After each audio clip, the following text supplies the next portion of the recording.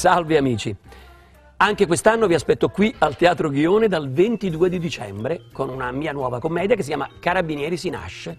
Questa è un'isola di gente insensibile, gente senza cultura. Ma io che ci faccio qua? Che ci faccio qua?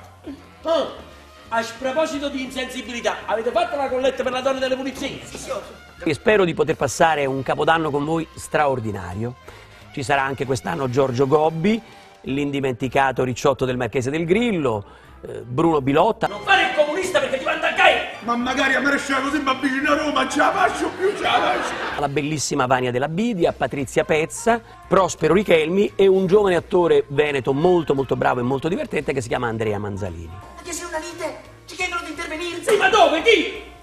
Non me l'ha detto. A domanda! Sì, ma dove chi? Ah?